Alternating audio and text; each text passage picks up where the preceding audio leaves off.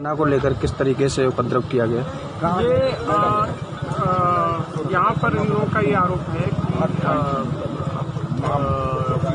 कुछ व्यक्ति आके बच्चे का अपहरण कर रहे हैं। को लेके जा रहे थे उसमें जब फोर्स यहाँ पर पहुँची है तो इन लोगों ने फोर्स से भी हाथापाई का प्रयास किया है। सूचना मिलने पर तत्काल सभी लोग यहाँ पर पहुँच गए हैं। एक बार पूरी जगह सघन तरीके से कॉम्बिंग पेट्रोलिंग की गई है।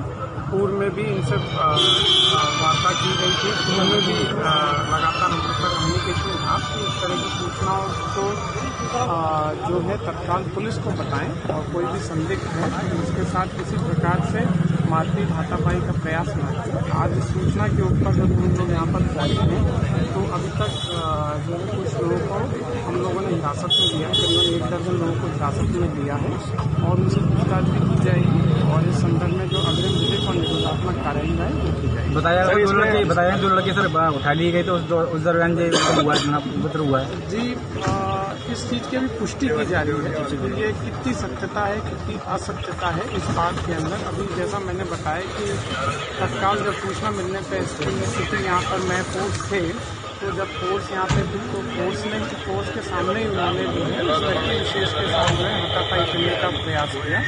उसी सूचना को आ, के ऊपर पहले यहाँ पर फोर्स पहुँची है। जो इनकी सूचना है कि कोई गायब है अथवा नहीं उनके परिजनों से अभी बातचीत की जा रही है। जैसा मैंने बताया यहाँ पर सघन और सारी चीज़ की गई है। यहाँ पे स्टैटिक ड्यूटी भी लगाई जा रही है और इस चीज़ को वेरीफाई कराया जा रहा है कि कौन बच्चा गायब है उसके कौन परिजन है। और उसको हम लोग चेक करेंगे कि बच्चों की लोकेशन